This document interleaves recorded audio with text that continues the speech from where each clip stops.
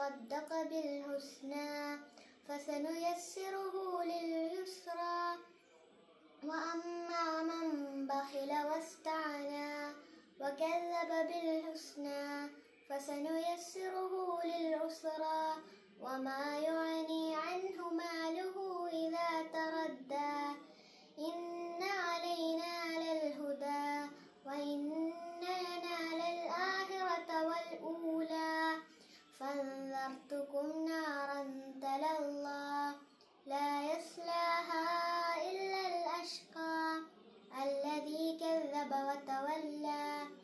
وسيجنبها الأتقى. الذي يؤتي ماله يتزكى. وما لأحد عنده من نعمة تجزى.